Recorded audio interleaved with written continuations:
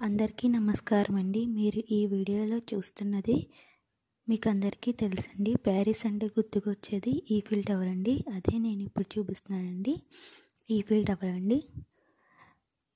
ఈ Eiffel tower దగ్గరికి మేము జనవరి ట్వంటీ సిక్స్ రోజున వెళ్ళామండి.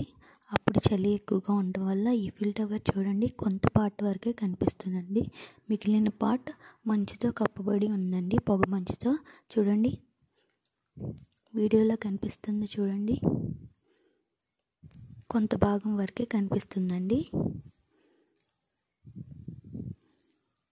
ఈఫిల్ టవర్ చూడండి ఎంత అందంగా ఉందో.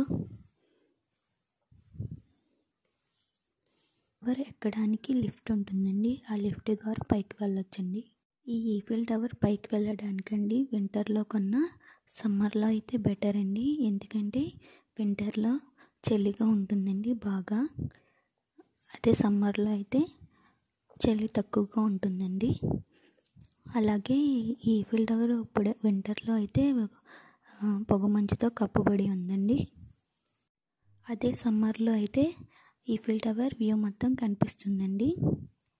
ఇప్పుడు కూడా ఈఫిల్ టవర్ మంచుతో కప్పబడి ఉన్న అందంగానే ఉంది చూడండి. ఈఫిల్ టవర్ పక్కన చూడండి. చాలా చెట్లు ఉన్నాయండి. ఎండిపోయినట్టు ఉన్నాయి కానీ ఇక్కడ మొత్తం చెట్లు ఆకులన్నీ రాల్చేసిన తర్వాత చిగురిస్తాయండి.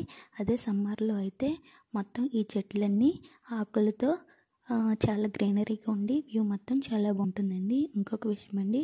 ప్యారిస్లో నేను చూస్తున్నానండి. చాలా చోట్ల పిచ్చుకలు ఎక్కువగానే ఉన్నాయండి. పిచ్చుకలు ఉన్నాయండి. అదే మన ఇండియాలో అయితే పిచ్చుకల జాతి అంతరించిపోయిందండి. ఇంకా ఉన్నాయండి. కొన్ని చోట్ల తక్కువగా ఉన్నాయండి. కానీ ప్యారిస్లో పిచ్చుకలు చాలా చోట్ల కన్నా చూశానండి నేను. మళ్ళీ ఇక్కడ ప్యారిస్ పోస్టర్స్ కానీ ఈ ఫీల్డ్ అవర్ కీ చైన్స్ కూడా అమ్ముతూ ఉంటారండి. మా వీడియో కనుక మీకు నచ్చినట్లయితే లైక్ షేర్ కామెంట్ చేయండి.